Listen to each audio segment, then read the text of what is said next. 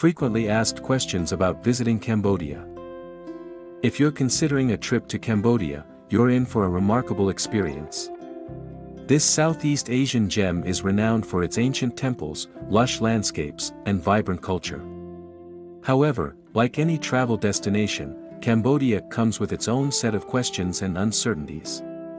In this article, we'll answer some of the most frequently asked questions about visiting Cambodia, ensuring you're well prepared for your journey. 1. What is the best time to visit Cambodia?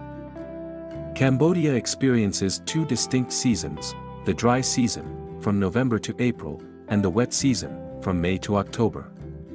The best time to visit is during the dry season when you can explore the temples and outdoor attractions comfortably. However, if you prefer fewer crowds and lush greenery, the wet season might be ideal for you. 2. Do I need a visa to enter Cambodia? Yes, most travelers need a visa to enter Cambodia. You can obtain a tourist visa upon arrival at the airport or border checkpoints, or you can apply for an e-visa online before your trip. Make sure your passport is valid for at least six months beyond your planned departure date. 3. What currency is used in Cambodia? The official currency of Cambodia is the Cambodian riel, KHR, but the US dollar is widely accepted and even preferred for larger transactions. It's advisable to carry a mix of US dollars and riel for your convenience. 4. Is Cambodia safe for tourists? Cambodia is generally a safe destination for tourists. Like in any other country, exercise basic precautions, such as safeguarding your belongings, avoiding isolated areas at night, and being aware of your surroundings.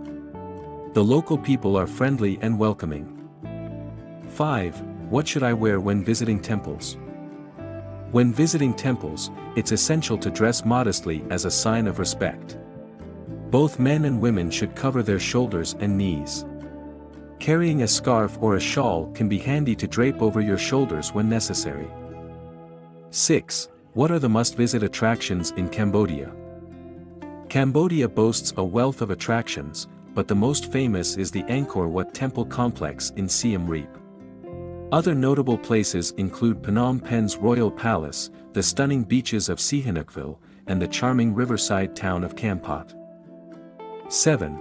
Is it safe to drink tap water in Cambodia? It's not recommended to drink tap water in Cambodia. Stick to bottled water, which is widely available, and make sure any ice used in drinks is also made from purified water. 8. What's the local cuisine like? Cambodian cuisine is diverse and delicious.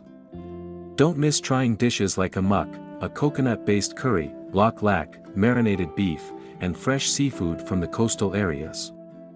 Street food is also popular and worth exploring for a taste of local flavors. 9. How can I learn some basic Khmer phrases? While many Cambodians in the tourist industry speak English, learning a few Khmer phrases can enhance your experience. Common phrases like hello, sausti, and thank you, orkan, are appreciated by locals. 10. What vaccinations do I need before traveling to Cambodia? Consult your healthcare provider or a travel clinic for up-to-date vaccination recommendations. Generally, vaccinations for hepatitis A, typhoid, and tetanus are advisable. Malaria prophylaxis may also be necessary depending on your itinerary. 11. How much does a tourist visa for Cambodia cost? The cost of a tourist visa for Cambodia varies, but it's typically around $30 for a one-month visa. 12. Are credit cards widely accepted in Cambodia?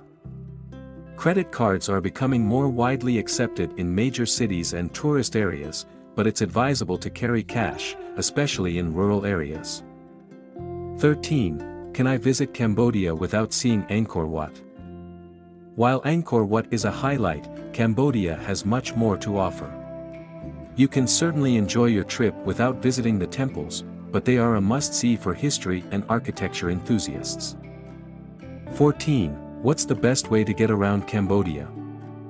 Tuk-tuks, taxis, and rental bicycles are common modes of transportation in Cambodia.